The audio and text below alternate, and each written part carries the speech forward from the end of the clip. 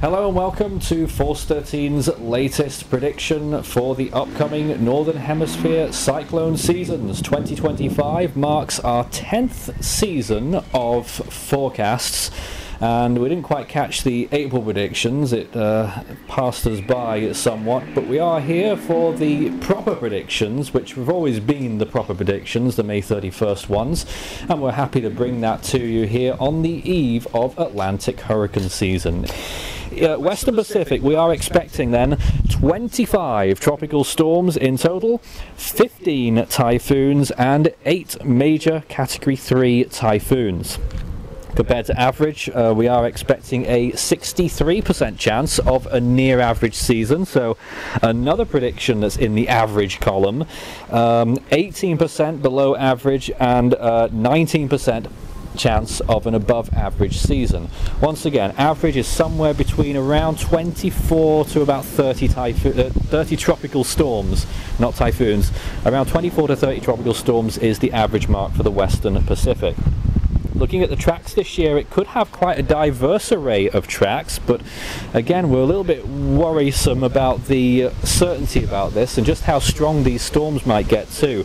We are a bit concerned that there's a few strong, strong analogues that have powerful typhoons. In fact, we're giving this year a 1 in 3 chance, 33%, of a Category 5 landfall once again somewhere in the Western Pacific.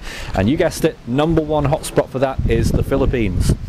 Um, if that does happen, the most likely spot will be somewhere in central or northern Luzon, usual kind of place. I mean, it is quite common, it has to be said, but again, one in three chance of a Category 5 landfall, and the most likely uh, significant typhoon tracks will take it through the northern Philippines and possibly one or two curving just off Luzon, heading towards Taiwan or making a full recurvature towards Japan.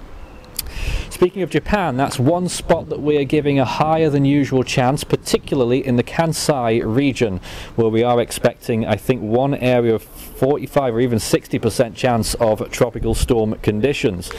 Uh, in terms of activity in general, it's going to be near average, as mentioned, one or two below average months. It's going to be quite steady according to our forecast. Of course, it is just a little idea.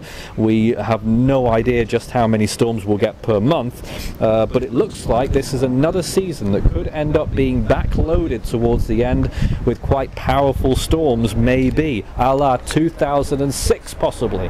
Um, that is one of the analogues this season, and that was a dreadful end of year for the Philippines region. Not saying that is absolutely going to happen, but it is something to be considered that we could have another very busy end of season finale. Um, so storm numbers expect to be a little bit below average, just by one or two percentage points. And uh, looking at the percentage chances for impact, once again, they are down upon last year. If you remember 2024's forecast, there were quite a few areas that had a 60% and a couple that had 80%. We've got none of them right now, but one or two 60% spots. Okinawa, obviously, northeastern Taiwan, around about the same place that Gaemi made landfall last year, another potential hotspot this year, and of course, a large park. Uh, considerably large, really, more than climatological uh, for a large chunk of the northern Philippine Islands extending into the northern Visayas region. More further south, less chance, but still there is always a chance that there could be a low latitude storm late in the season that could go on to affect the southern Visayas region or even Mindanao. Uh, Vietnam looking a little bit on the average side, if not a little bit below average actually, especially further south. Gulf of Tonkin will be the hot spot around Hainan, northern Hainan through the Leizhou Peninsula of China.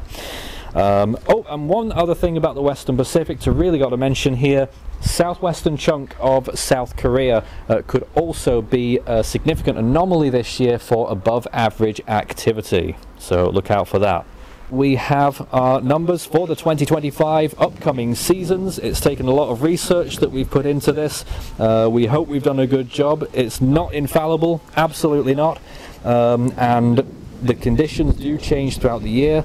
Um, and like I said as well, in fact, I don't think I've said this yet, but looking at the El Nino uh, ENSO pattern, it is pretty neutral, which means that there's a lot of uncertainty. And even the ENSO forecast is quite uncertain because we don't know if we might just pop up into a positive for a while, maybe even getting towards a weak El Nino, or whether we'll just be uh, staying neutral and then dropping back down towards the La Nina towards the end of the season.